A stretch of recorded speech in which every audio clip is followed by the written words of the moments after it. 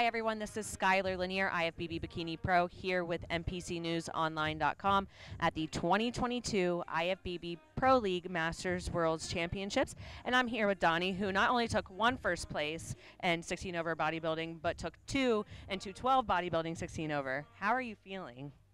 Uh, right now, just caught in the moment and stuff. It hasn't sunk in yet, so. Yeah, you, you literally just got off the stage. literally got off the stage. Literally got off the stage, but as time goes on, it'll, it'll start sinking in, and, and then the gravity of it will start hitting me and stuff. So yeah.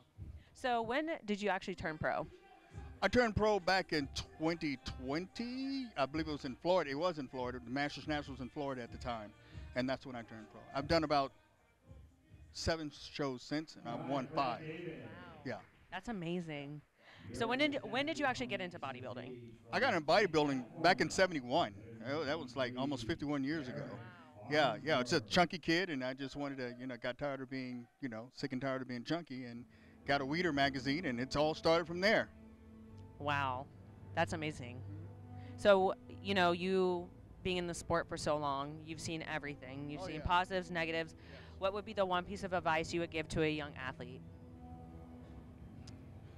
Coming to the sport right now, it's you know it it um, just be just be true to yourself, you know. Um, and uh, people do it for different reasons, but I I guess with the longevity for me, the competitive the competitive side was kind of like part of it, but it's the lifestyle that's really driven me because I'm only going to compete for so many more of these.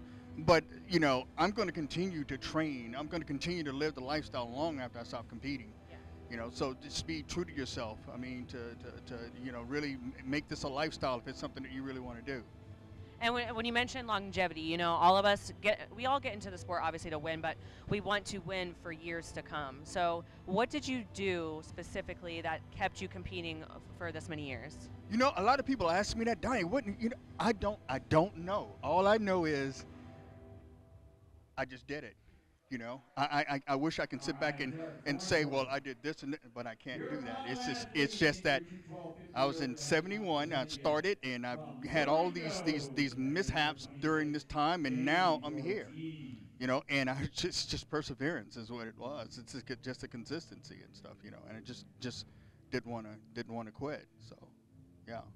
Well, that's amazing. Is there anyone you want to thank before you head out?